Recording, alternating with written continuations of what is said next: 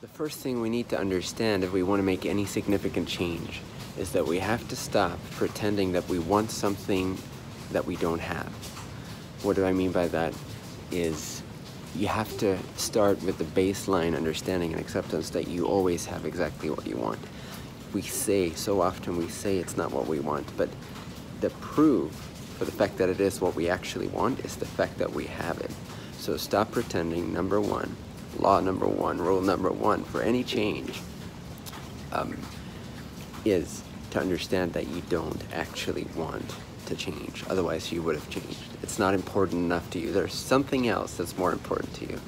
Be it comfort, be it safety, security, relationship, uh, money, whatever it may be. Something else is more important to you.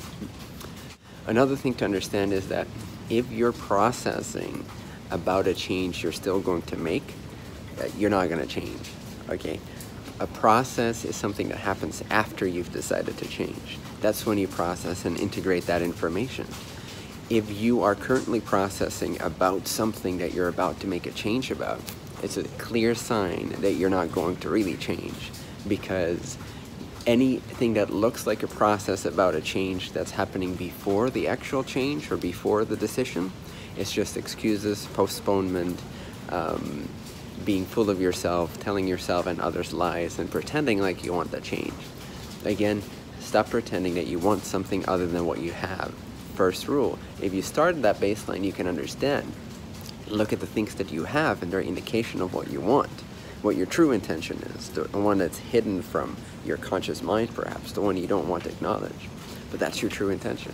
Then you can change your true intention to uh, what you actually know would benefit you and others so much more, would benefit your life at a much larger scale, at a meta overview level. What would truly be beneficial? What's your calling? Why are you here? What's important in life? That you can change into as soon as you acknowledge that you don't want to change yet. First, accept that. Okay? Have fun. And remember, the process happens after the change. If you're processing before the change, it's not processing, it's postponing. Love you very much, whether you change or not. You're perfect.